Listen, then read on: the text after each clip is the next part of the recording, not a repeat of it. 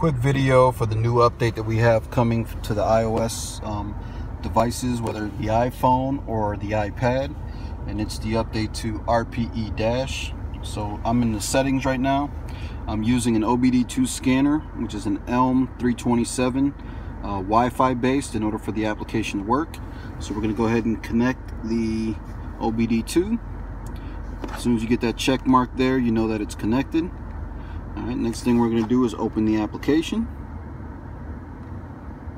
All right, so here's the new user interface for the RPE Dash app.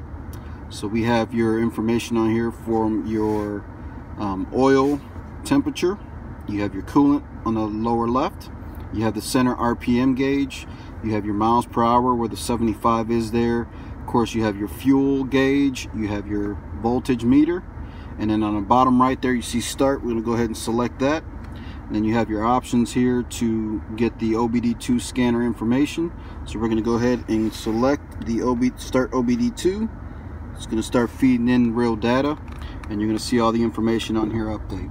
So there we go. So as you see the RPMs are there. Let me go ahead and rev up the vehicle.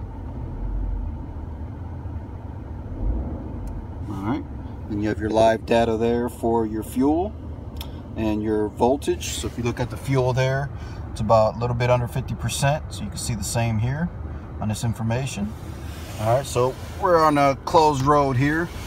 So we're gonna go ahead and drive and show the actual application working as we drive. So let me go ahead and put into drive here.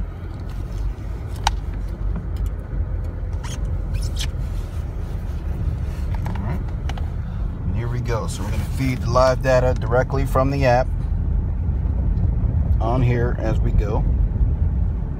As you can see, the miles per hour gauge is working, the RPMs is working, and all the other information on there.